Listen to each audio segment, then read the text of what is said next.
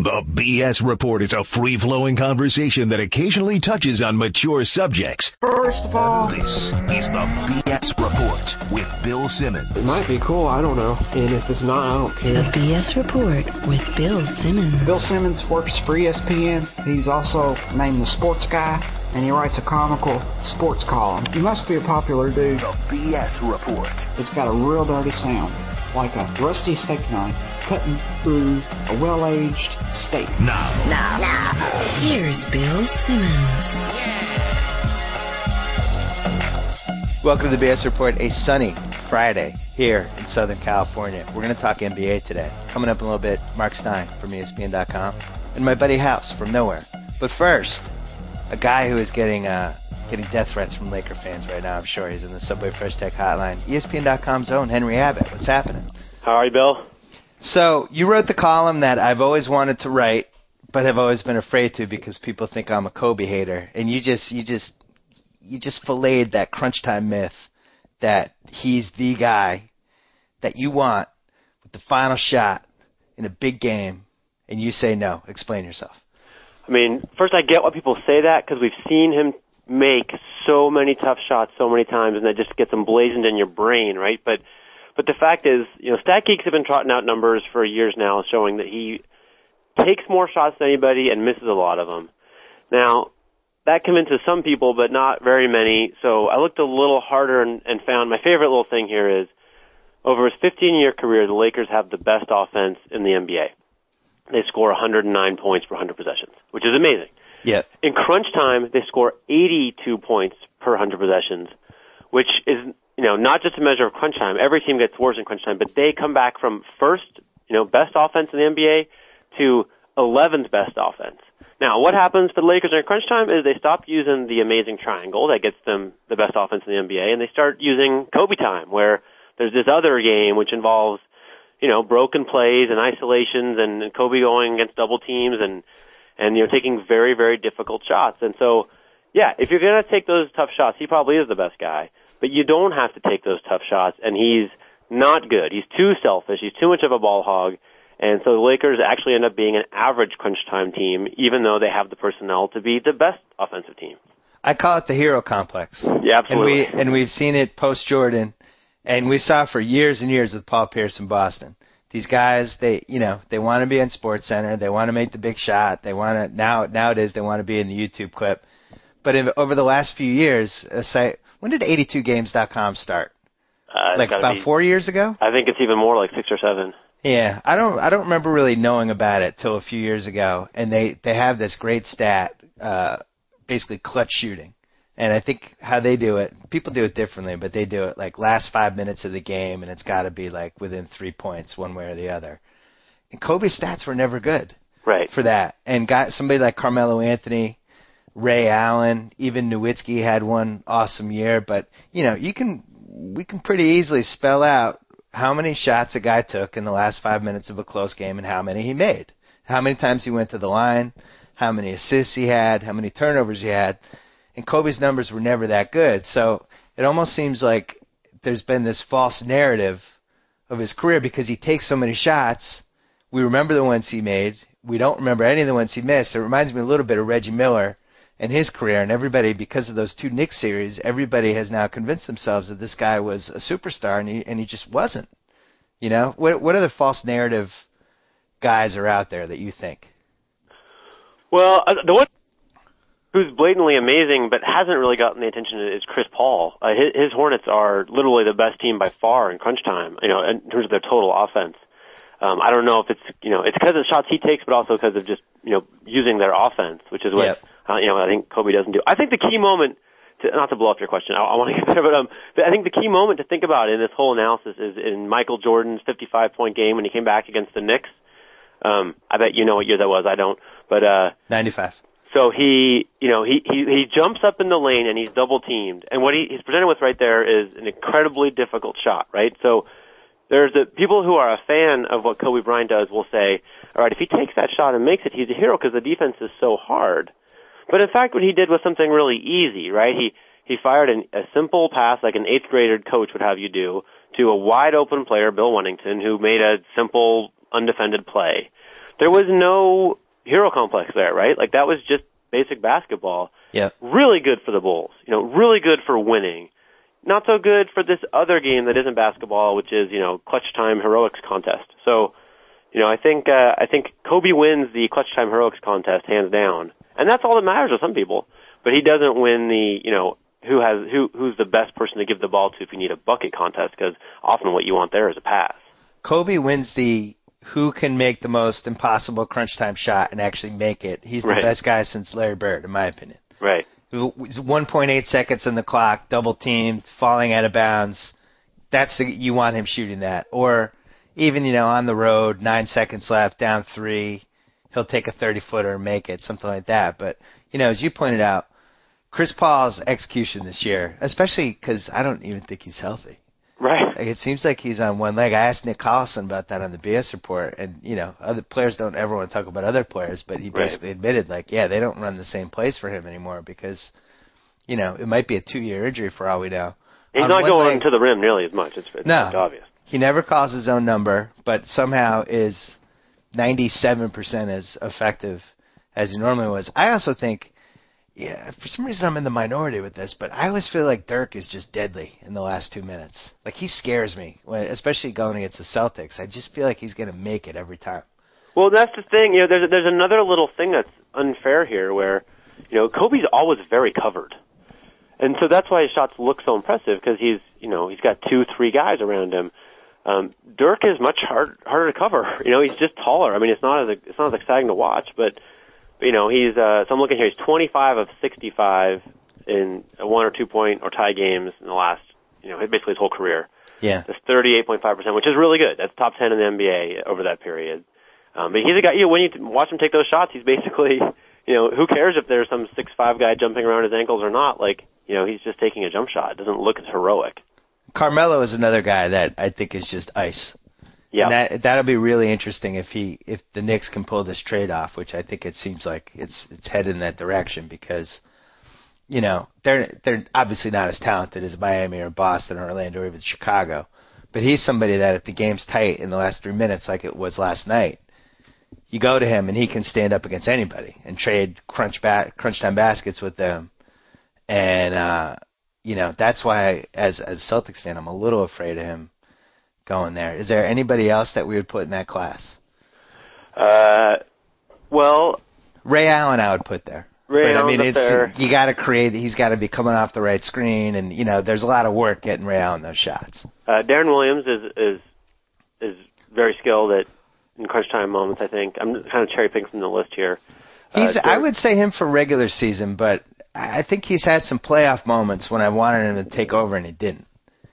Yeah, so I fair? think that we get into this small sample size thing, though, right? Not to sound like a Yeah. total dork, but like, you know, you don't really learn something about somebody. I don't think in like two or three opportunities, and crunch time is actually pretty rare.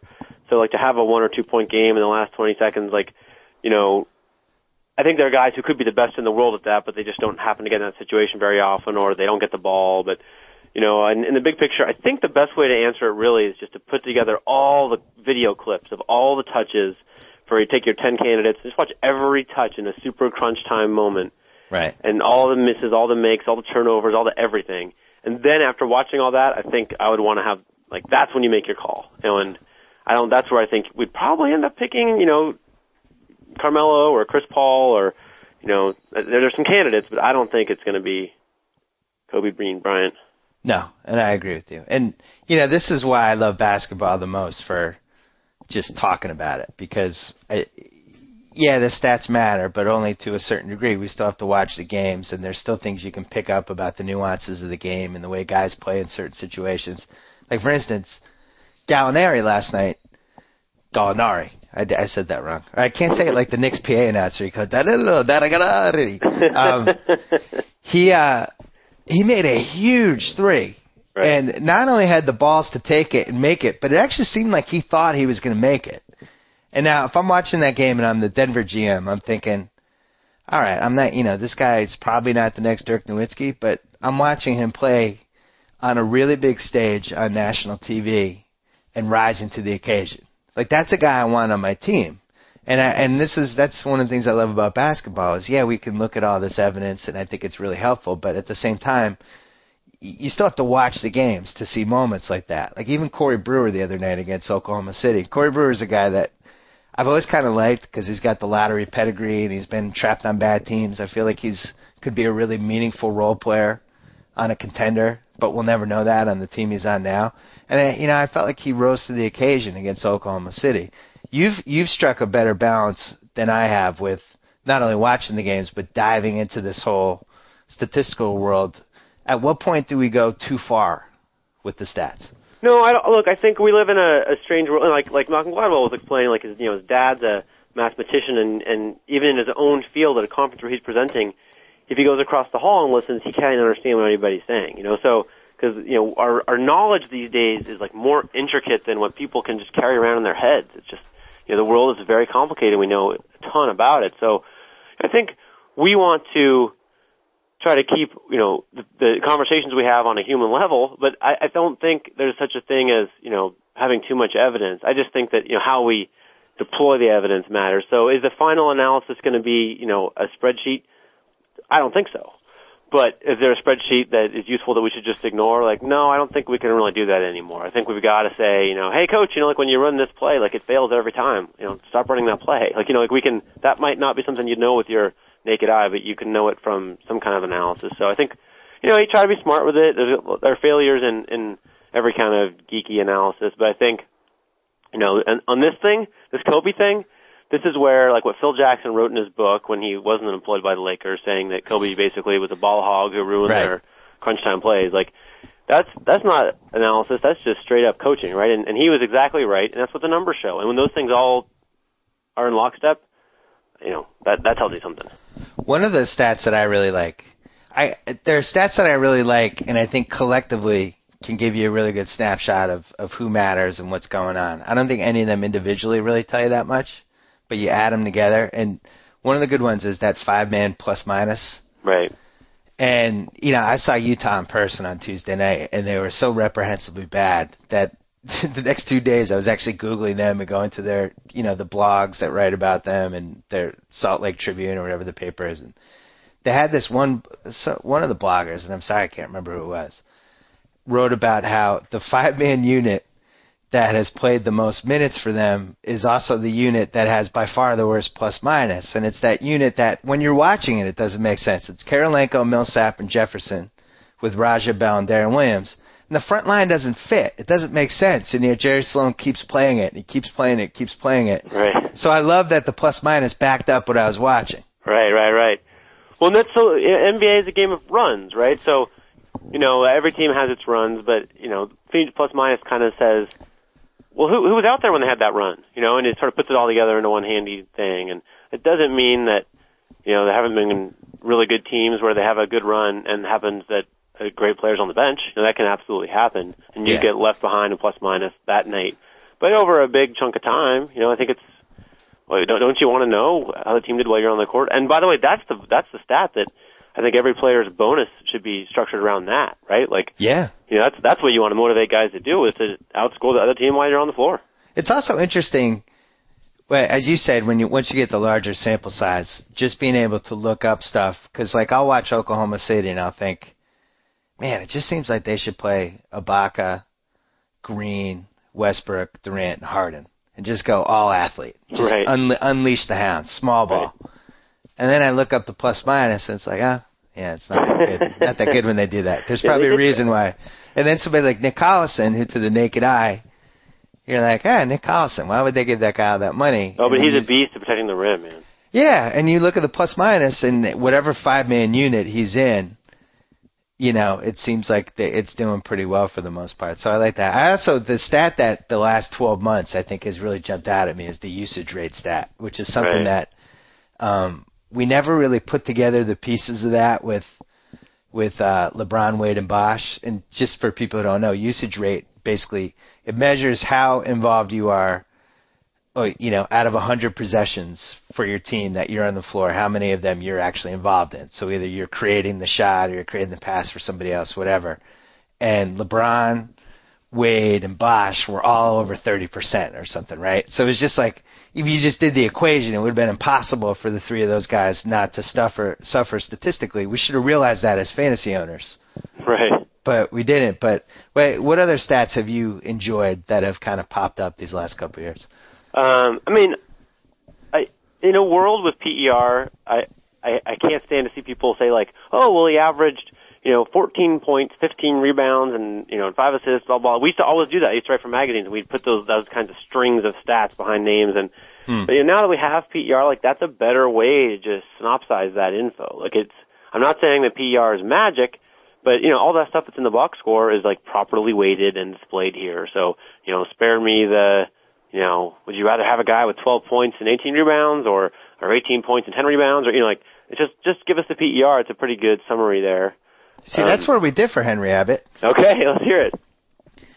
I don't mind PR. I think it's useful, but um, I think it's a flawed stat. I've told Hollinger this. Like, I like it. I'm glad we have it. I think, you know, it measures. First of all, it only measures offense. Well, that's the big problem, right? But that's true Yeah. of every stat. Yeah. basically.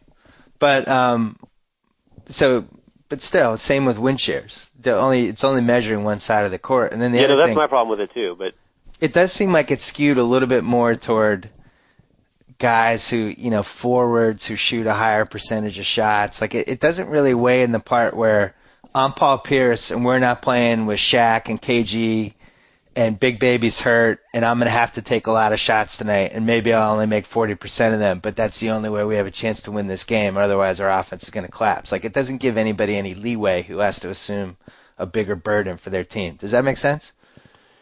Yeah, it does, but I think like people do this, right? They put so so PER is not a perfect stat, basically. You're saying, and I think John Hollinger would agree with you. Yeah. But you know, this is the seven zillionth stat, right? All of them before it were imperfect too. So why do we suddenly only re- want perfect stats? Like you know, points per game used to be pretty much how we judge players, right? That little list in the back of the newspaper, and it's like. Here's, you know, Michael Jordan at the top, and and that was basically for most fans like that's the list of total player quality. Yeah. And you know that was the dumbest thing ever. Um, you know we know that a zillion times over. So you know now we have one that's much better, like a much better picture, much closer to the truth. And now we're all nitpicking it. I feel like yeah, you know one day we'll figure out how to measure defense and you know situational specialties stuff like that. But you know for what where we are right now. You know, maybe we maybe we're not in a time where we should have a single number that tries to encapsulate the entire game because we're No. bound to fall short. But if you're interested in something really quick, that's the one. That's the one that I look at. What do you think of win shares?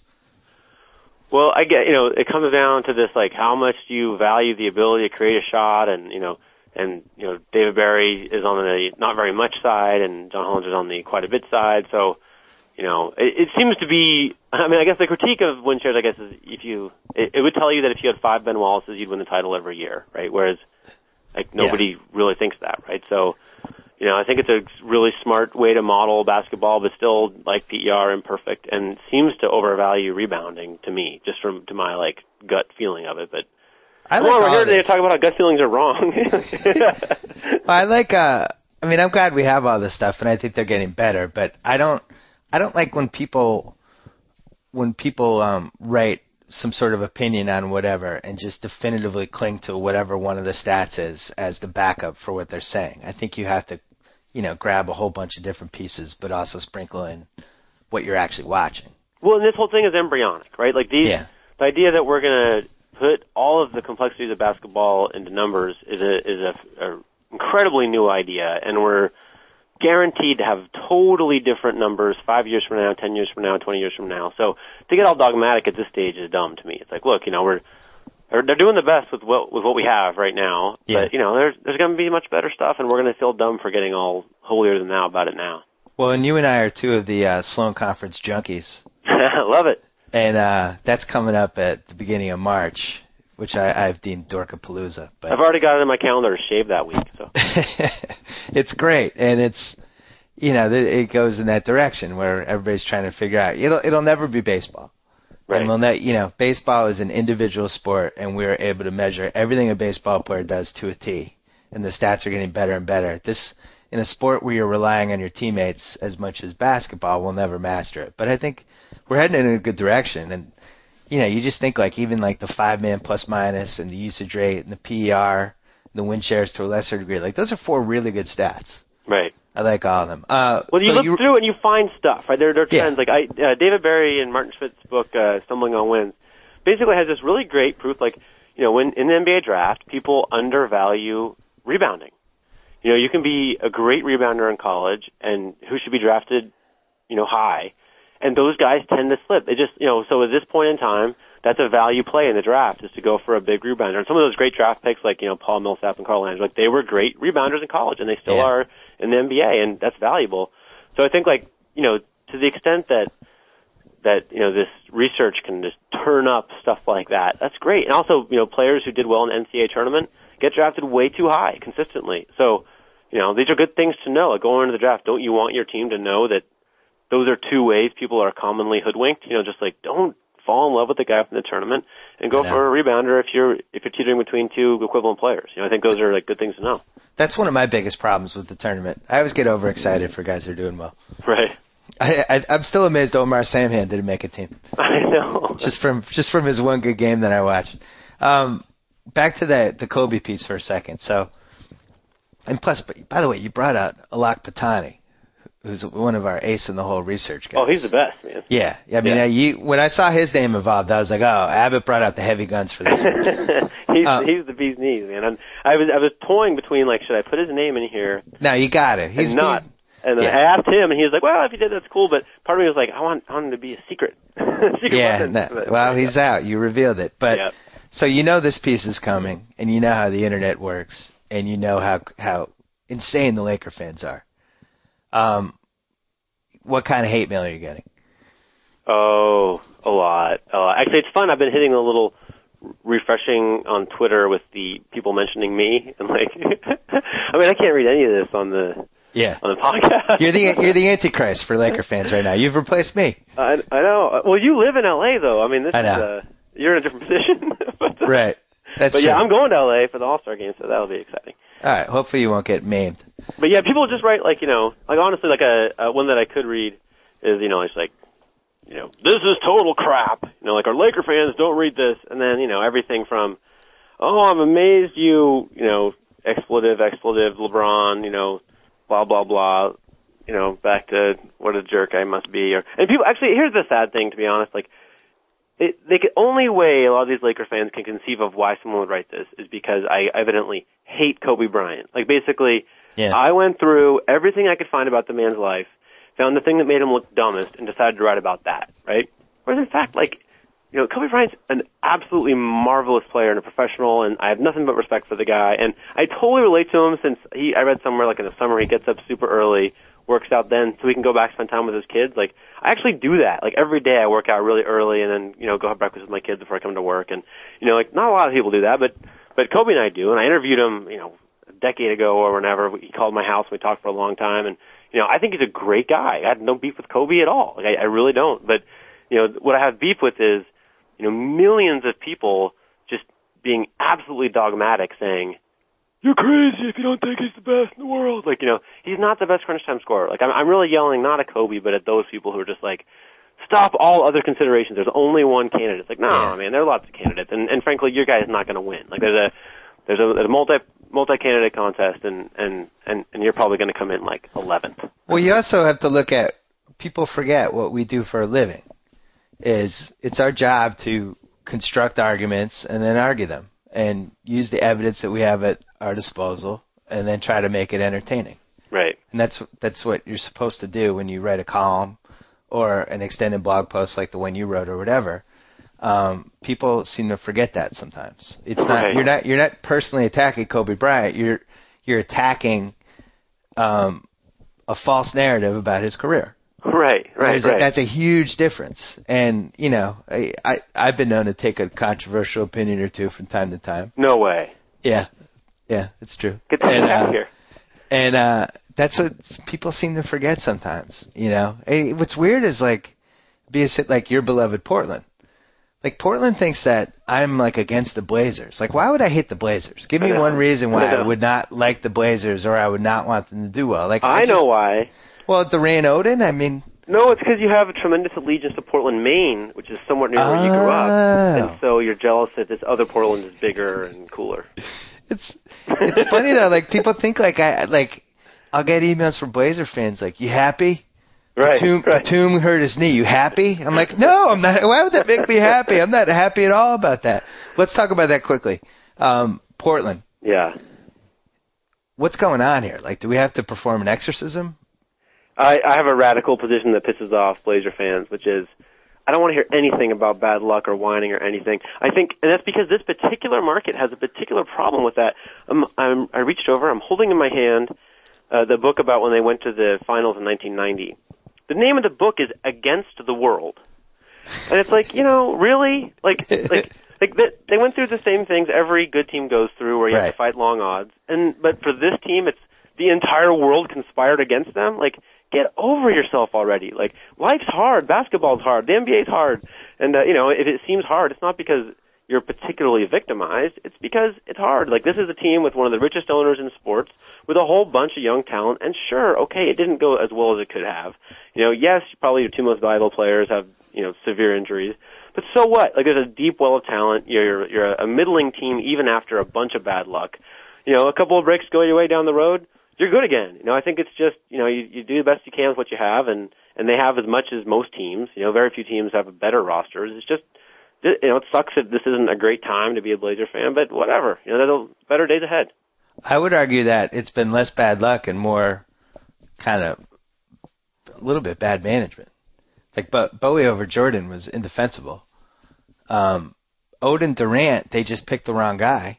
You know, I I know at least two teams were going to pick Durant out of that combo that were in the lottery. Um, giving Brandon Roy that gigantic contract extension when everybody knew about his knees, I don't think that was a good move. I don't know, man. I think uh, if you only give big contracts to players with clean bills of health, like you're limiting yourself to like a third of superstars. I know, but you're talking about Brandon Roy when he came in the league. Like the Celtics had that pick and traded him because they looked at his knees and they were like, "Wow, that guy is not in five years is going to be in trouble." So I talked to uh, I talked to one of the smartest GMs in the league, and uh, I won't tell you who it is, but see if you can figure it out. Um, He was like, uh, he was like, you know what I do? I ignore all those stinking doctors because they just like they don't have to win a championship. Well, all they have to do is not get you to sign a guy who might turn out to be injured. Like they have a totally different agenda. It's like, but if you want to win a championship, you got to take some risks. And uh, that's interesting. you know, so you know, it, literally, like it's impossible to get a superstar. Like you just can't. You know, like ask, you know, ask a lot of GMs who don't have one. Like there's just nothing you can do to get one.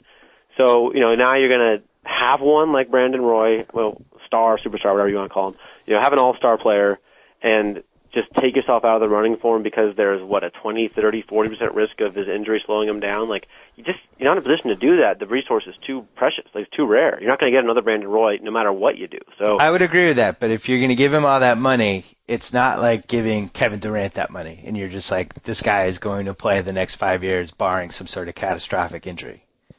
You know what I mean? Yeah, Like, there but was a those little bit of players risk are in it. worth like like so they're actually worth like you know thirty million a year. Like, but the salary cap prevents you from paying them that. So, you Hmm. know, are you going to pay? I think for whatever Brandon's like a fifteen or whatever. If you're going to pay him half of what he's worth healthy, you know, with a you know sixty percent likelihood that he's going to be there healthy for five years, like it's a good deal. I mean, any team would do it. I don't like if you let him go on the open market. You think he would have gotten less? Like I think if you want him, you got to pay him like that, and there's risk. It's just a risky proposition, and it doesn't always go your way. Look at the Knicks with Amar'e. I mean, they gave him that 100 million. They were Woo. like, this guy's got a bad eye and bad knees, and we're just hoping we get to year 4. He's got like two of the worst injuries. I mean, I like Yeah. I, I feel like dirty saying anything like that, but that, you know, I, I am nervous every time I watch him play. I really Yeah. am. Him and Blake Griffin are the two nerve-wracking guys. I know Blake is all over the place. Like, So, as a Portland fan, how do you see this Oden thing playing out? Do they trade him? Do they just give him a fresh start somewhere else and cash in because he still has a lot of stock, like with the other GMs? I think there there's at least six teams that would absolutely roll the dice with him and give up an asset for him. I think. yeah, I I mean, this is where there's a difference between what's best for the team and what gets the GM fired. You know, like Mm. So I think if you trade that guy away and he becomes, you know, even half of what he might become, everyone thinks you're the biggest idiot ever. Like now we're having the same conversation ten years from now, and like, what are you talking about? He's the number one overall pick, the next Bill Russell. How do you trade that guy for, for you know, Michael Beasley or whatever? Yeah. Um, so it's a very tough proposition. I honestly think that probably the move is you just keep him around forever, and you know, hope that one day when he does shine, it's for you. You know, and it, it, it's painful and it's probably not psychologically delightful for Greg himself, who I'm sure would love to just anything new in his life would be good now, right? Like, like different is better for him. Yeah, I think he needs a change, and it's something that Portland did. I just think it's he's at the fresh start point of his uh his NBA career. I'd love to see the two teams I out. Obviously, Phoenix, just to put that crazy training staff on him, It'd be really great. and then I think going home to Indiana. And that's actually a good trade match for them because they could give him back Hibbert, who's got his own set of problems. Done. I'll do that deal right now. a couple other things. Um, Or, or know. Miami would be good because they don't actually need him. Even your team, the Celtics, like you know, a team Yeah. where, you know, hey, if we have a productive young center, we can we can put him to real good use. But if we don't, then we'll we got this Turkish guy or whatever. You know, like that's a I think that's a good situation for him because he doesn't have to have the weight of the franchise hanging on his shoulders. can we blame Portland's training staff at all for a lot of this stuff? It's too hard to know. But I'll tell you this, Yeah. man. If I owned an NBA team, first of all, I would have so much money, it'd be ridiculous.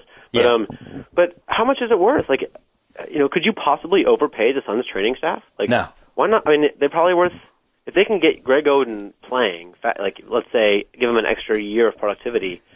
They're worth thirty million dollars or something like that. You know? Yeah. Like, I don't know why you wouldn't just put so much money into that, or you know, Arnie Kander in Detroit, or you know, so these these guys who just know how to get players playing and and happy and healthy. I mean, they are worth their weight in absolute gold, and I can't understand why they're not just top of the list of most coveted NBA personnel.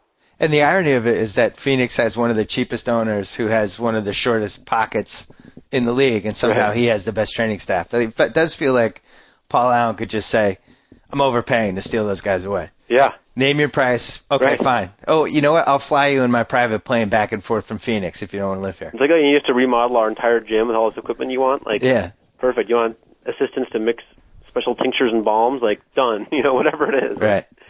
Last question, then we got to get to Marc Stein. You bet you were on the forefront of this uh, of the sports blog thing, and I, I've noticed the last couple of years, and I, I don't dive into it because it's one of those things that I start reading and I can't stop. And also, I have my own whole process for coming up with NBA observations, stuff like that. But what I've noticed when I'm trying to research what happened to that guy, or what's going on with this team, and I'll check out some of the team sites, the writing's just better.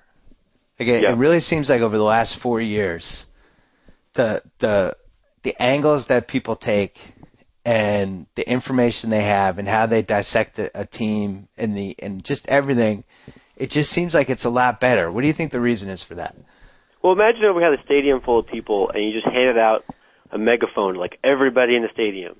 Like one minute in, you'd have just like, "Ah!" you know, but but after a year or two or three years of people living in that very loud stadium, they would people would naturally kind of listen to some people more and less to others, and and everybody's getting feedback the whole time, right? If you start a speech that's really dumb, everybody walks away, and you know, I think it, it's a it's a honing process, and people who were really passionate about it, you know, will stick with it through thick and thin, and they're getting good feedback, and you know, I think it's just it's it's it's a way to get good at stuff is to do it every day and have people give you feedback on it, and that's Yeah. just been happening more, and you know, I'm It seems I'm, like some of the guys are younger.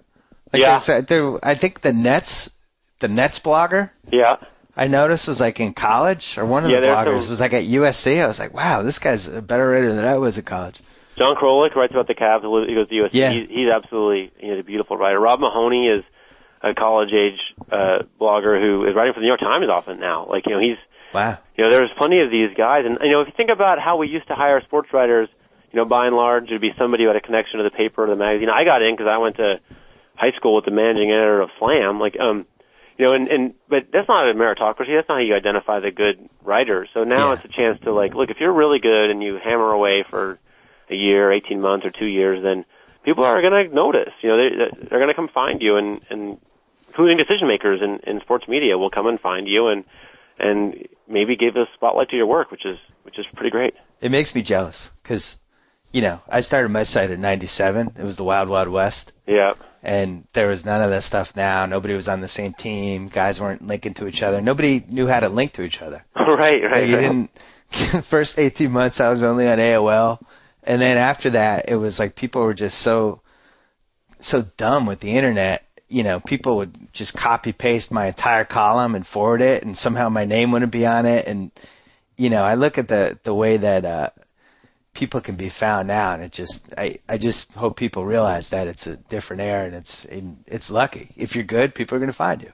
Yeah, It's no, it's it true. is It's a much more crowded field now, so like I Yeah. think it's like if you start, you know, when we started the TrueHoop Network, I would say, hey, you know, start a really good insert team name here blog, and it'll get a big audience. Now, if someone starts a new you know Cavaliers blog today, I don't even know how I'd find out about it because there are like 150 of them, and and and five of them are good, you know. So But if somebody's really good, you're eventually well, you'll eventually know. yeah, that's true. If they're, if they're really good, it's So it's a good. It's like anything else. It's a meritocracy. it's getting there. It's getting there. Well, congratulations on your role in it, and I, I've especially appreciated how you you always stay above the fray, and you just kind of bang out your thing, and you stay, you know, you s- maintain good relationships with everybody, but you do good work, and you don't take cheap shots or any of that stuff. I, I just I admire how you've handled it. That's very kind of you to notice that and say that, but I don't think any Kobe fans agree with you at all. well, I, I, I wanted to grease you up at the tail end, just for in case any of the death threats or letter bombs that you might get over the next uh, next couple months. Henry Abbott, we'll see you on the uh, True Hoop blog on ESPN.com. Thanks for coming on. Thank you, Bill. All right. Remaining in the ESPN.com family, we're going to bring in Marc Stein. The reason I wanted to bring him in, other than to uh, feel him up for trade rumors, was uh, I wrote my column this week about um, Kobe and Nash and Dirk and Allen and Pierce and their generation and extending their primes, and I actually called called this guy Marc Stein, who's on the Subway Fresh Take Hotline right now, to get his take on Dirk. And he's followed both of those guys, Dirk and Nash, pretty much for their whole careers. Steiny Mo, how long did these guys keep playing? I mean, Dirk definitely goes beyond this contract. He's in the first year of a four-year deal. Nash, I could see him making a run at 42, even though what he's only got one more year to go on his current contract. Then maybe like unless two. uh, unless he gets a unless he gets a soccer offer that takes him away from the NBA. that would be a big story. He's got uh he's got Stockton potential. I, I mean, think about Nash and how his back was in 01, 02, and 03. And did you ever think he would have Stockton potential? It's just inconceivable to me. Well, I remember being in the gym when he landed really bad in Dallas, and that whole first year he he basically in Dallas he basically played with a broken back and and didn't know it till the end of the season. But, but he's just changed his body, changed the way he does everything. I mean, if you go back and look at early Steve Nash pictures uh, of how he looked when he was in in in Phoenix at the beginning, and you know he was you know you wouldn't say chunky, but like I think they told him in those days, you know keep meat on you. You're going to need it to. You're, you're going to get beat up so much in the NBA. You need that extra padding. And you look at him now, and he's just completely different. I mean, he's you know he he, he went for the cyclist look now. Right. But you said you told me yesterday when we talked about this that Nash and Nowitzki were in on this working their asses off in the gym thing about four or five years before pretty much everybody else in the league. I mean, they were definitely the first guys that I covered on a daily basis that I was really aware of that every practice day they went back to the gym at night.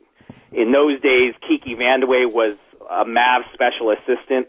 The three of them would just, you know, practice at 11, done at 1, back in the gym at 8 o'clock for extra shooting, full court one-on-one, just kind of all kinds of crazy stuff. And uh, you know, before them, I really don't remember hearing about too many guys that were doing that. And now, I think that's, you know, I wouldn't say standard, but I think a lot of guys do do that. They'll just go back and shoot at night and just, everybody takes their game, I think, more seriously. Summer league is more, is way more serious than it was. There's so much more international ball than there was 20 years ago now all these guys can, can play. I mean, there's tournaments every summer. I mean, there's to me, there's just no such thing really as a summer off anymore. Yeah, and you I didn't make this point in the column, but I should have. Or I don't know how I would have squeezed it in, but um, when Kobe was on that 2008 team, he kind of let some of these younger guys behind the curtain, and I don't think they realized how much time and effort he put into non-basketball stuff, and it definitely affected at least some of them, right? Yeah, and he, I mean, he's another one of those guys that now I actually was lucky. I, my last year in LA was was his first year, so I got to cover. I got to travel with him one year. Uh, you know, he's way more maniacal now and has been in recent years than than he was earlier in his career, and just. Yeah. I mean, everybody's heard the stories about how early he wakes up in the off season and and you know just just uh how serious he is. And I remember talking to him about this a couple years ago where he said, "I haven't even fired the last bullet in my chamber, which is changing my diet." He he thought at the time that he could still take it up even one more notch. Mm. But you know, you know Ray Allen. I think they showed the footage last night on TNT about how you know his pregame routine where he goes, gets in a cab, goes a couple hours before, and what does he do? 150 makes before every game. Well, I think out of the five guys that I wrote about in the column, four of them were in on this stuff really early, and the last one is Pierce, who got into it late, and I think he's he got in it just in time because he has transformed the last part of his career. And actually, I think he's playing the best all-around ball that he's played. I know statistically he's had better seasons, but just watching him game in and game out, so efficient now. He knows exactly what he's going to do. He's in awesome shape. He's never tired and uh and you know it just makes me wonder where we're headed with this stuff Well, is I think where we're headed is I think teams are almost now trying to stop their guys from doing it and just saying, look, you need to keep more in the tank. You know, don't don't push yourself so hard Hmm. uh, because because it's just like- you know it's just like you know like I guess Magic and Bird used to tell the story. You know, they would always say, you know, I knew Magic was shooting a thousand shots a day, so I've got to shoot twelve hundred, but the, they really are doing that now. So it's everybody's trying to one up each other, and it's almost I think teams are almost like you know what take take a day off, don't go Yeah. back to the gym at night and shoot. You need to you need to rest. The seasons are are too long. I mean that's the thing. All these guys have such ridiculous mileage, especially the high school guys. You know Dirk's Yep. pretty much in that category because he he didn't play college ball and. uh, I mean, they, they, they, all these guys have so many miles that they, they got. They just got to watch it. oh i stole your sam perkins analogy i meant Yeah, I haven't you read that. your piece yet, so Yeah, I stole it. I'm actually I just curious, ripped it I'm off. curious how much you did steal. Uh, i quoted you i just ripped off the sam perkins thing though i didn't even attribute it to you i just took it because i liked it that much I But forgive you. I love that analogy though, and I, you know, I was trying to think was is there a better, is there a better person for the analogy? And the analogy is that when Dirk is past his prime, he he should be able to have the career that Larry Bird should have had at the tail end. Because if Bird's back didn't go out, I think he could have played till he was like 45. He well, just would I have mean, been look, three I'm the point most specialist biased guy on earth on this topic, but I- I'm not going to lie. I mean, all, when when when Dirk passed Bird, I mean, it pissed me off like how how Dirk was just scoffed at because he doesn't have a ring. You know, did he play with Parish and McHale and and and DJ and all these amazing guys? I mean, you know, I've said it a million times. I'm going to keep saying it. Tell me who is Dirk Nowitzki's best teammate since 2004, and when you settle on your answer, whatever it is, if that team should be winning championships, I don't know what league you're watching. All right, I'm going to give you a, a very subtle and, and short settle down. Because be careful with Larry Bird. Be careful taking his name in No, not. I'm not. I'm not and, and again, quick one. obviously, who who would diss Larry Bird? I mean, I love Larry and Magic so much that No, I know. I actually, you know, still put them ahead of Michael, which is a far bigger heresy that you know people think I'm crazy. But I I mean, so I, I guess what I'm saying is, so when Dirk's 40 and he does the Sam Perkins and he and he wins a ring with whoever, now he's now he's a great champion. Right. Well, I think Dirk's career has been uh, has been treated unfairly because if you just look at the stats, and it's been 11 straight monster years. You know, with no no dip, nothing. He's he's one of the most durable superstars that we've had. Like even just him getting hurt a couple weeks ago was kind of shocking. And then, as you pointed out, he you know it's not like he's been playing with junk. Like it's not like he was playing with the 2007 Cavaliers but he he's never really had any help. He's had a lot of veterans. They always seem to be like three years past the year when they were really good, and that's it's just been a steady stream of him. Well, they, of the Mavs guys. have always had deep teams. I Yeah, mean, they deep. have, you know, although I, I would say this year's team's probably not as deep as they thought. But I mean, the formula has been proven. You got to have at least two superstars, and and today you probably need three. And you know, the Mavs, the Mavs have not, you know, they've tried everything. They've tried 15 different trades, and you know, Hmm. everything they could possibly think of, but they haven't been able to come up with that other superstar to put with him. They've had some bad. They had bad luck because the year that they had all the assets that they could have traded for another superstar was uh the Juwan Howard year. That was, you know, it was just slim pickings. And then when they made their other big run, they made it for Kidd, and you know, you and I have been arguing about this for four years, but they got Kidd at a different point in his career. They weren't getting the Jason Kidd from New Jersey. Well, you know, I still say that if if they could have manufactured that one other guy, I mean, Kidd would be, uh, you know, could still do a ton. I, I, I mean, they, he, the problem in Dallas is he's had to do too much. He's had to carry too big a load. But you know, I, I just think if they had one other offensive gun to put with them, that that Kidd could do a lot more damage. But But when you look at uh, you look at what they gave up for Kidd versus what Denver gave up for Chauncey Billups a few months later, it's no contest. You have to at least admit that. I mean, they paid 110 cents on the dollar for Kidd. Well, I guess the difference is the Mavs were, you know, the day before the deadline and operating under much a more panic desperation. I mean, Denver, was you know, give them credit. They swung that deal what five days into the season. Yeah, well, I think Cuban has been. I know he's your boy. I love him. I think he's been a great owner, but I I think he's impulsive with stuff. I think he, you know, you look at that Brendan Haywood contract that he gave out, and I know uh the what's that website that defends him all the time? DallasBasketball.com. I'll give him a plug. I enjoy I enjoy their Fox News coverage of Cuban. Uh, they they defend they defended the Haywood contract because the last year is you, you know you can waive it, kind of like what they had with Dampier. So that made it a good contract. Meanwhile, they're paying this guy nine or ten million dollars a year as a backup center, and it, I mean they they constantly do this. They never have cap flexibility. That's why they haven't been able to find the second guy.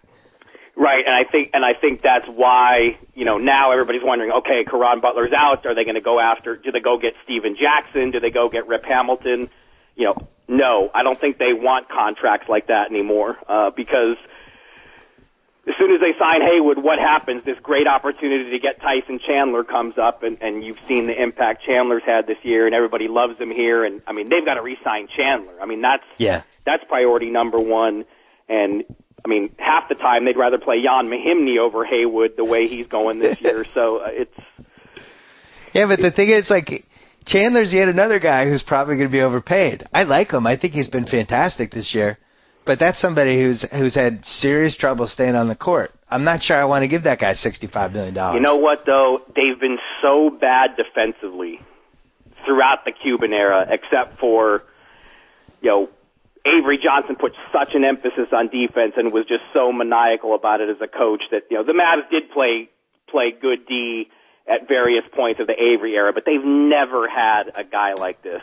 And no question, you have to factor in his health history, but he's the perfect complement to Dirk. He's long, athletic, moves well, vocal. He does every single thing that Dirk doesn't do. I mean, he's exactly what you would want next to Dirk as a center. So, Can we talk about how Oklahoma City could have Stephen Curry and Tyson Chandler instead of James Harden and I don't know the Nenad Krstic I mean, right now? I mean, how close that was that that could have been the alternate finally- universe. I think they're finally starting to feel some pressure here that they've got to that they've got to make a move.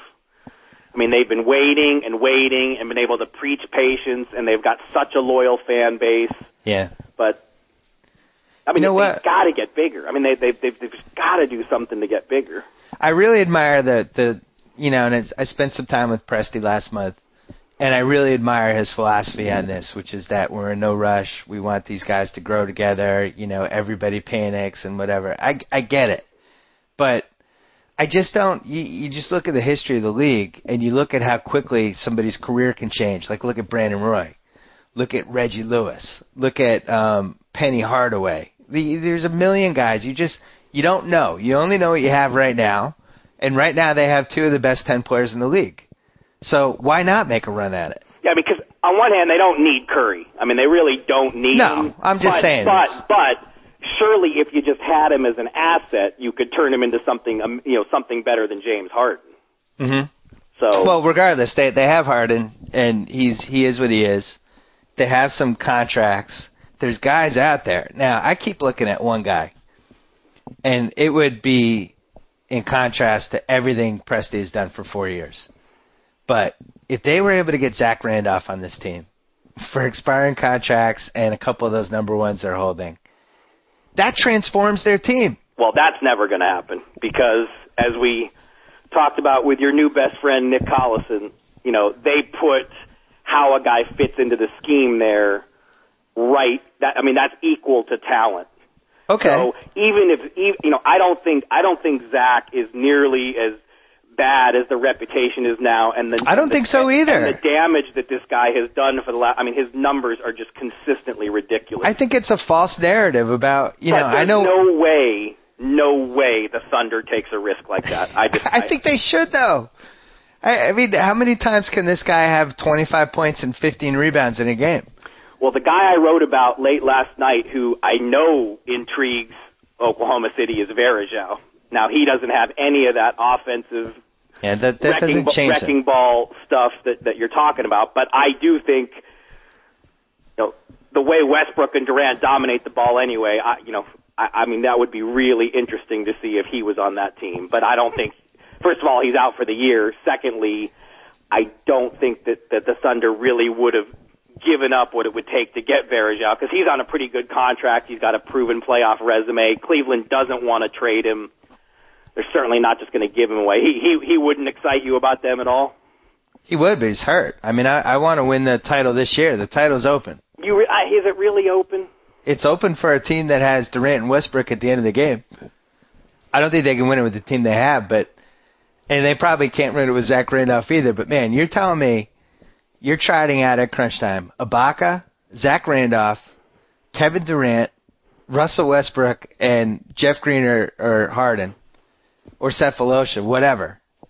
That's a that's a brutal team. I just don't see how is Zach ever going to get the touches to have. Zach gets double impact? teamed. I mean, but that the, the, their whole setup is for two guys. How are they going to How are they going to work in another guy like that?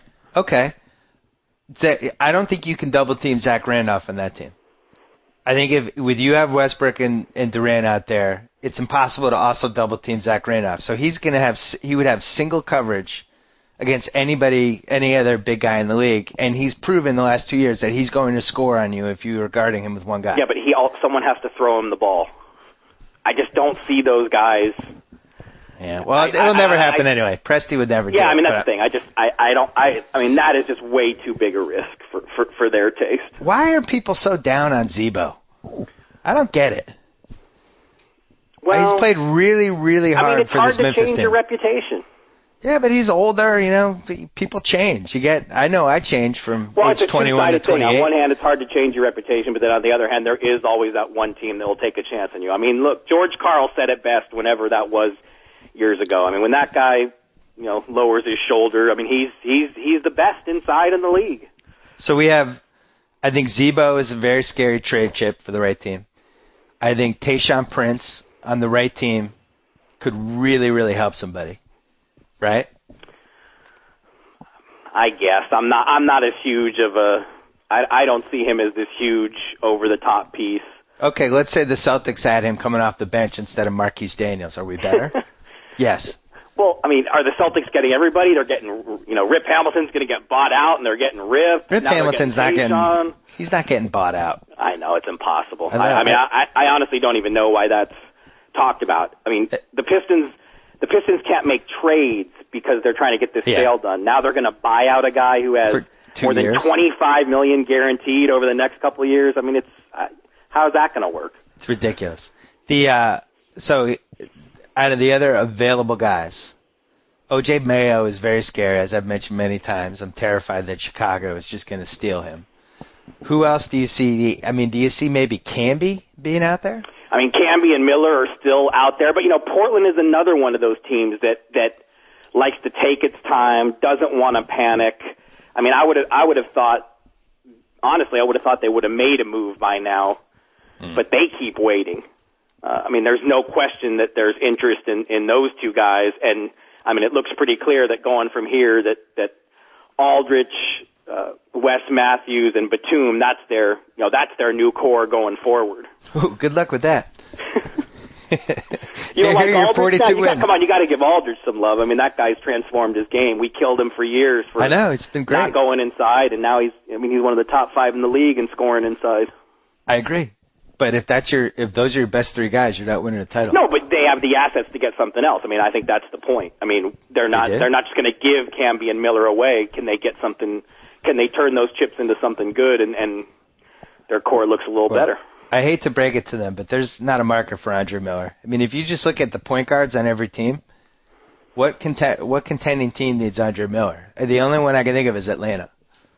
And what is Atlanta going to give up for Andre Miller for the upgrade from going from Mike Bibby to 34 year old Andre Miller and then incorporating him into what they're doing? And I, I just don't think there's another option. I think Camby is somebody that could fit in a lot more seamlessly, and everybody needs big bodies.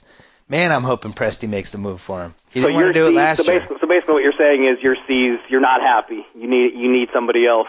No, I'm happy with the C's. I would love to up, upgrade the Marquis Daniels spot. So the four C All Stars are not enough for you. You need it. You need a trade too. I'm a demanding guy. The What is fact that? the Celtics and the Heat are going to account for seven of the twelve All Stars. what is uh? What What are your boys in Dallas going to do? You know, I think I could see them going for Prince if they could pry him away from Detroit, only because he's a last year guy.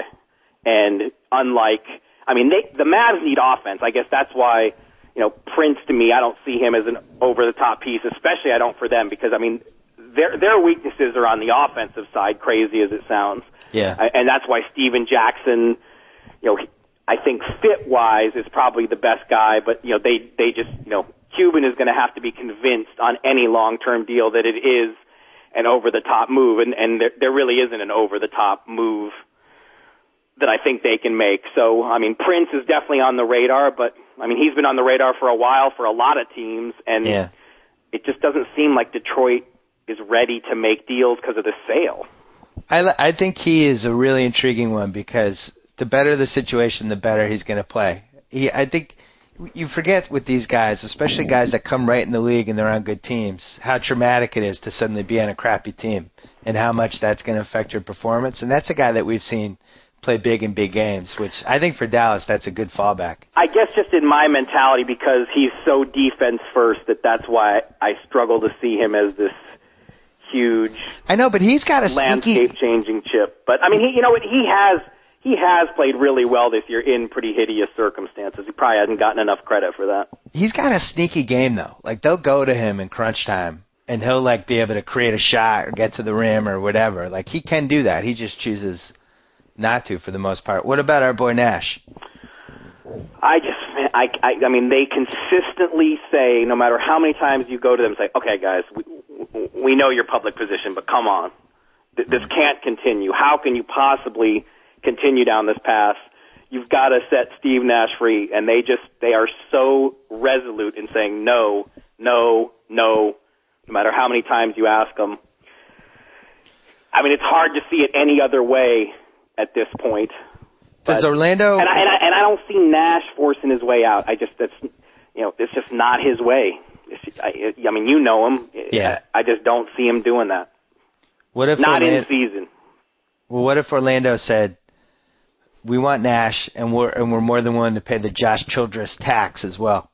We'll take him too, and we'll give you back Jameer Nelson and a couple expirings and a number one pick and three million bucks. I mean, common sense says they would have to listen. I mean, there's other teams too that common sense would say they'd have to listen. I think you know Portland is another one of those teams that know, I don't know doesn't how do anything excited- for him I, though. I don't know excited how excited he'd be going there. But He's got to win a title. Well, but I mean, it's not. It's not the. I mean, the Suns have to make the best deal for themselves. I mean, they- can't just say we're only going to. To, to, we're only going to send him somewhere that, that his next team can win a title. Yeah, but he has the leverage of saying, "I want to retire here, and the only way I'd want to leave is is um, if it's a great situation." And sending him to Portland is not a great situation. That just puts him in the same position he's in now. it's not a horrible situation, though. I know. Yeah, but we, he doesn't I have know a we, chance I to win we the title. disagree on this one. Really? Maybe he's the guy who can break the curse. Maybe he's so uh, with his clean living diet, he can transform. He can lift the curse of injury, bad luck that Portland has. Well, maybe if if Nash goes to Portland, then we really have to start thinking about. You know, I've been talking on Twitter a lot about America and Canada making a blockbuster deal in the country trade machine, and uh, you know, I I would much rather try to get Vancouver from Canada but I'm also willing to trade Portland to Canada. I'm open for everything. I just want the two countries to make a deal. I think it'd be fun. Somehow, I don't think we can trade one of the best fan bases on the NBA map. As much as I love Vancouver, I don't. I don't think we're going to be able to sell that one. Listen, no offense, because you live in Texas, but Canada to me feels like more America, more American to me than Texas does. I go to Texas, and how is Texas not its own country at this point? Well, I mean, I I love Canada. I've always said that when ESPN opens the Toronto bureau, I'm out of here. But they haven't yet. If you had, if you made a list of things that Americans have in common with Canadians versus things Americans have in common with Texans, the why Canadian you list is going to be longer. Why are you trying to get Texas all riled up when aren't you going to be here in five minutes?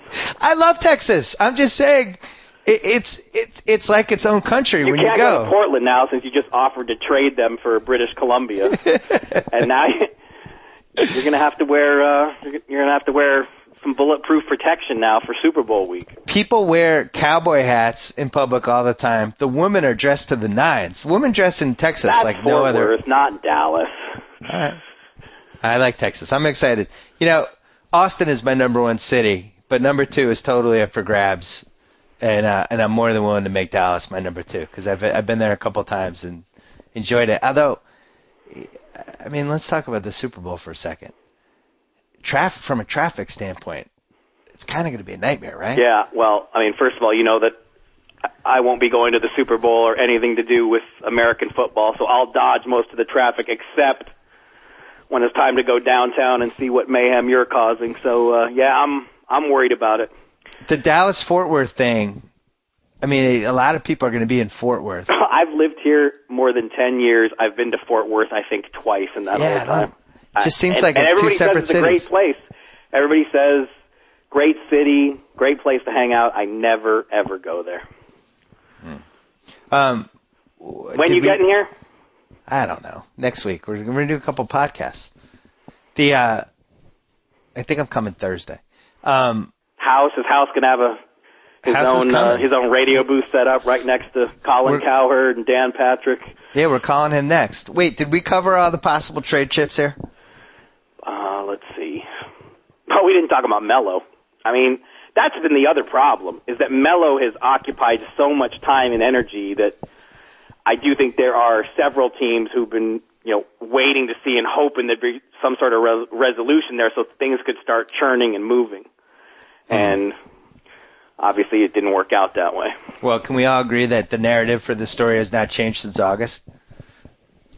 I mean, we've written a cajillion words about it, but it's the same story it was in August. He wants to play for the Knicks.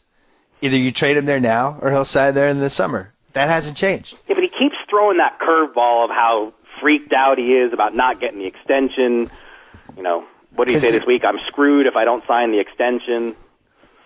I don't know. Just I mean, that's what's kept this thing alive the whole time. God forbid he considered the clips. Well, I mean, Really? basketball wise, it'd be sensational, but I mean, look, we all know until until there's an ownership change, we can talk about, we can throw out as many Clipper hypotheticals as you want. I mean, I finally got my first up close look at Blake. Mm. Not all that thrilled that I got as many dunks as Blake injuries. Not what I was bargaining for. I couldn't But- believe it. but stunning to like look around the American Airlines Center and see Clipper Blake Griffin jerseys everywhere. It's unbelievable. And it, it, for once, I feel like Nike's dropped the ball here. Where, where are the ads? We we should be getting hit over the head with commercials by now. This is guy's a phenomenon. I've been I've been tweeting about it. I think since the first time I saw him in an exhibition game for five. I watched him for five minutes. I was like, oh my god, this guy's already one of the best five power forwards in the league. And everybody's like, you're crazy. It's like, no, listen. I, I can only tell you what I'm watching. And this guy plays at a level that we just haven't seen before. He's crazy. It's insane. I mean, again, because I so rarely watch college. Was he this exciting in college? I mean, he just like No. I mean, anticipation wise, I mean, people were just giddy here, you know. And then here in Dallas, you you you you, you bring in the OU factor because there's so many OU Right. people here. So I mean, people were just absolutely. I mean, there was so much more excitement about a Tuesday night game against the Clippers than when the Heatles were here. It's not even close. Yeah, you know the the story on the jumping. So when he hurt his kneecap last year and they did the surgery, they he had they'd found like tendonitis or something in the knee, so they fixed that too. And he didn't realize he had it. It's just something he'd always played with. And once it healed, it, it was like they gave him like the, the shoes from like Mike. It was just he, his knees felt different. All of a sudden, he could do things that he couldn't quite do before. I mean, he still played pretty similar to what we're seeing now, but it just seems like he's jumping higher. You got to get this team sold before he becomes a free agent. You got to make that your mission. I, I can't believe that's a story. I, I mean, I, I really like that's first of all, it's four years away, and then second of well, all, it's a story only because, I mean, if Sterling is there, we know how it's going to end. So, I mean, that's why it's a story. I, I think there's a lot of people who want to see him stay there and would love to see him be the guy who actually makes that a real franchise and stays stays with the Clippers. But I mean, are you going to marry yourself to Donald Sterling if you're him? Yeah. I, I mean, why even think about it until we know what the new collective bargaining agreement is? This new agreement might have franchise tags and all these protections because don't forget that Dan Gilbert, you know, is pretty involved in this stuff, and he is a living example of what can happen if you're not protected from your best player leaving. So I, I'm just, I'm not, I don't think it's a story until we figure out where everything goes. But I will say this. I, I've been to four, the last four Clipper home games, and then I went to the Laker game Tuesday night. And I know this is crazy, but there, there's more of a buzz for the Clipper games now. No, that's what I can't wait to see an All Star weekend. It's the Lakers. I mean, the they Lakers will be afterthoughts, all of them. Oh yeah, the Lakers to their fans, and they, you know, the love is still there, obviously, but it's it's now like a marriage of ten years where you see your wife and, you know, you you know what you're you, you've seen your wife in every conceivable outfit, et cetera, et cetera. Blake is like the new hot girlfriend, and there's just pe- people are going to these games, just you know, people are actually asking for my tickets.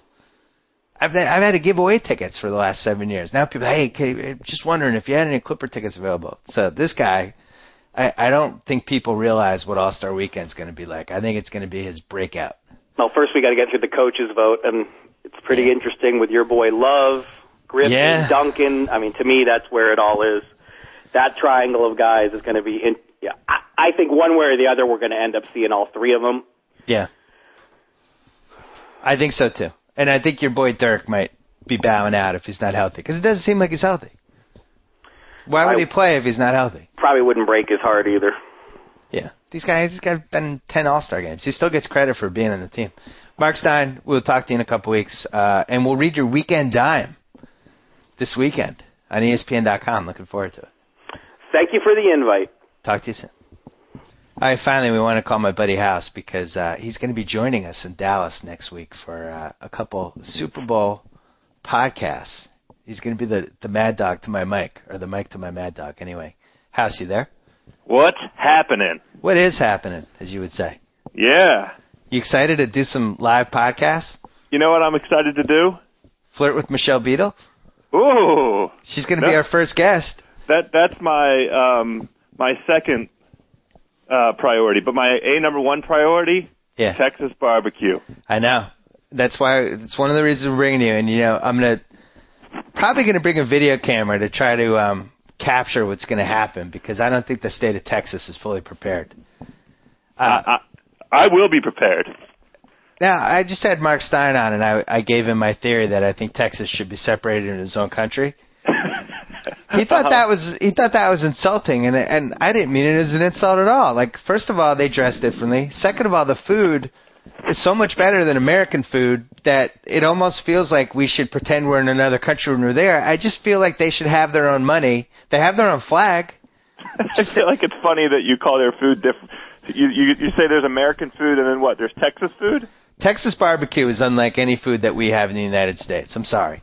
Well, how about this? I have never um, set foot in any part of Texas other than the Houston airport. Wow. So this is this will be. I'm losing my Texas virginity. This is great. You know, for us, it's it's a storied. Uh, it's been a, 20 years for us to get here. You know, you think back to us in college. We're in Worcester, Massachusetts. Um, we both like to eat and play basketball and make fun of people, and those are the three things we have in common. So we become friends. And there's this one barbecue place in Worcester called Fat Dickie's, which is Yeah. no longer there, where you could just chow down for I don't know, ten bucks or twelve. What was it? Was it like twelve bucks? I feel like the most expensive uh, platter on there was twelve bucks. And we would go down after we played basketball, and you would eat more than anybody who ever ate anything at Fat Dickie's. You'd get like two entrees, but they were both like the the super mega Dickie platters. They were delicious. They were delicious, but they really weren't that delicious. They it really was were Worcester not. is a fast food chain, but to us it was delicious because it Yeah, was in the food in the dorms. That's it.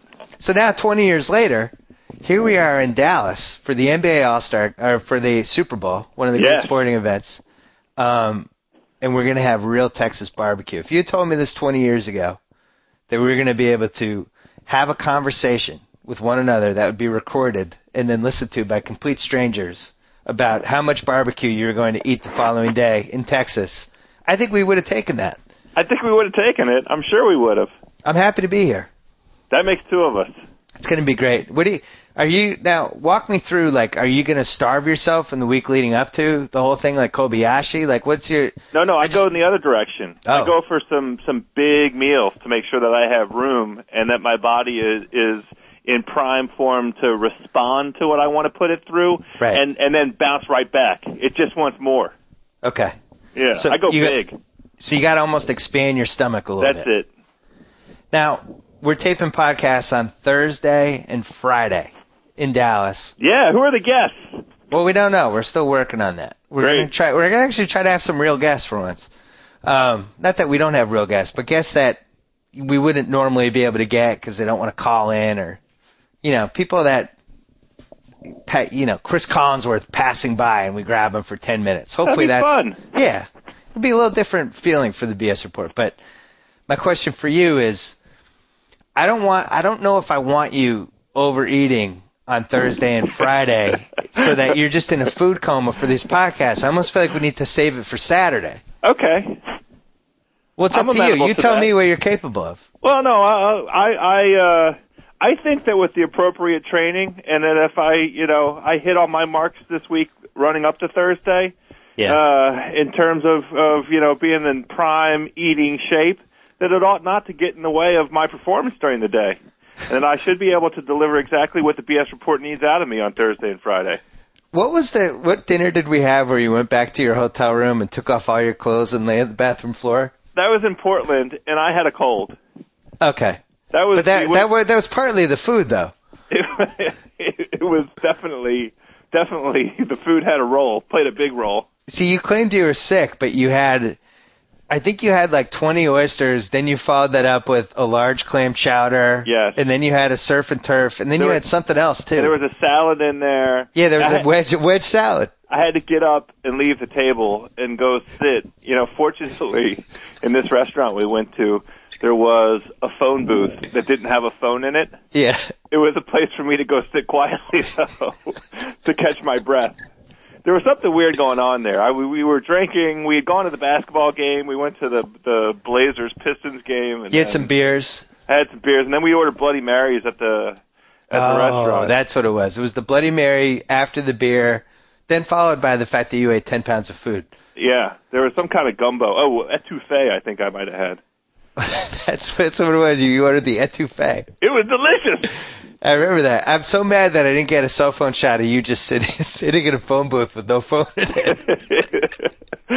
Would have been one for the ages. So then Yeah. you went home that night, and then you sent us an email the next day that you went home, and you took off all your clothes and lay on the cold bathroom floor for like an hour. It was the only way to recover. I'm going to try to avoid that in Dallas. I would prefer not to be rendered, you know, catatonic by the by the food down there in, in Texas. Yeah, but on the flip side, you've never had barbecue like this.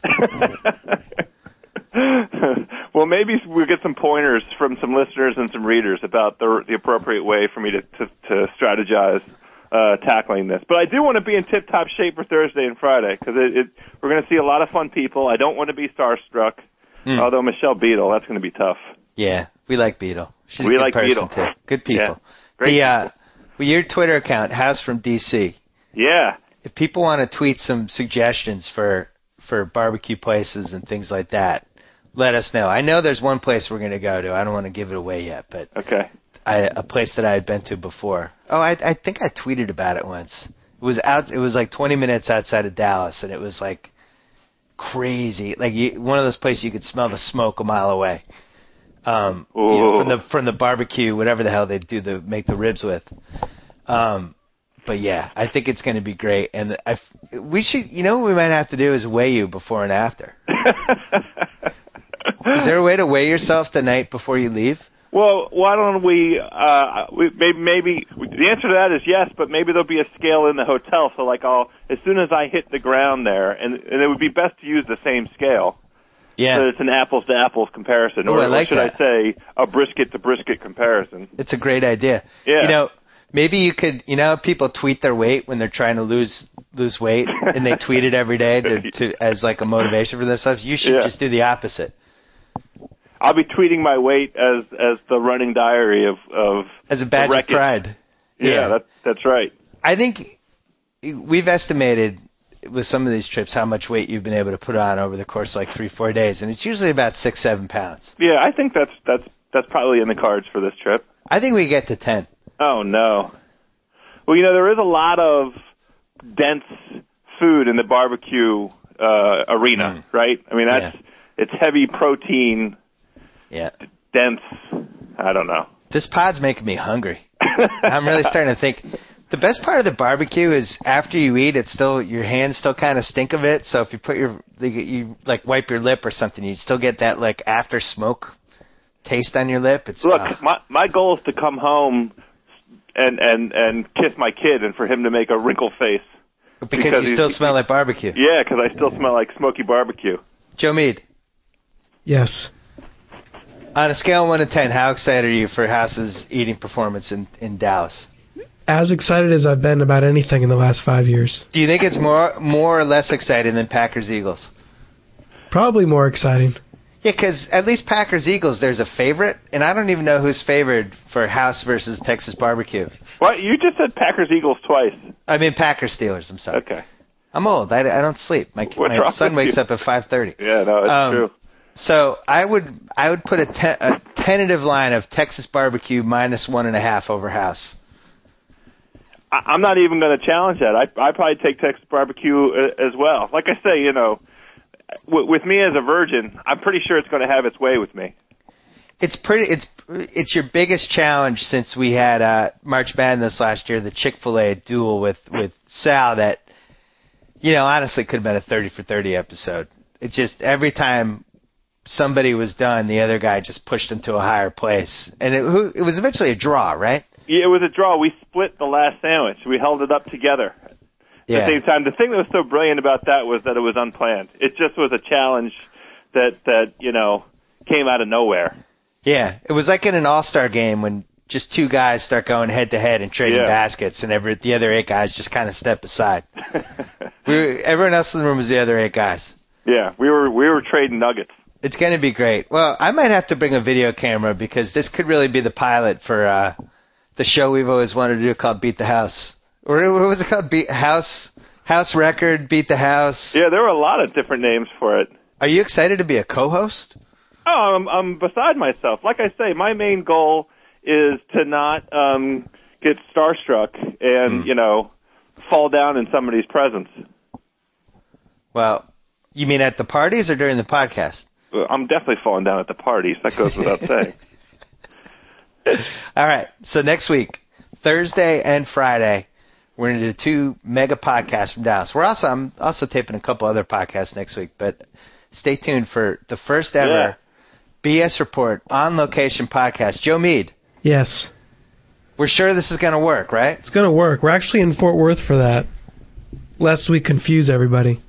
But it's at Sundance Square on Thursday at 5 p.m. local time on the same set that they use for Mike and Mike, The Herd, and Sports Nation. Oh, so we have to go to Fort Worth to tape the Thursday one, That's right. and then Friday we're doing the one in Dallas at the Audi House. That's right. Where and that that's definitely downtown Dallas, the second one. Yeah. Okay. So But- Fort Worth, we're making a trip. We'll be there. This is going to be exciting. Look out, Um, Texas! House from DC's coming to town. it's gonna and and the double Joes. It's a double Yeah. cup of Joe. Anyway, fellas, Joe Mead, we'll talk to you on Monday with the Super Bowl mega playoff podcast with the usual cast of characters. And then I think we're going to try to tape Chuck Klosterman on Wednesday. And then we're doing these mega podcasts Thursday and Friday. So dare I say this could end up being the greatest uh, week in BS Report history. As always, thank you for the support. Thanks for listening, and we'll talk to you next week. So I get to sign off. Whoa! Thank you for downloading the BS Report with Bill Simmons. Too much fun. Check out more podcasts at the iTunes Music Store or at Podcenter at ESPNRadio.com. Peace out.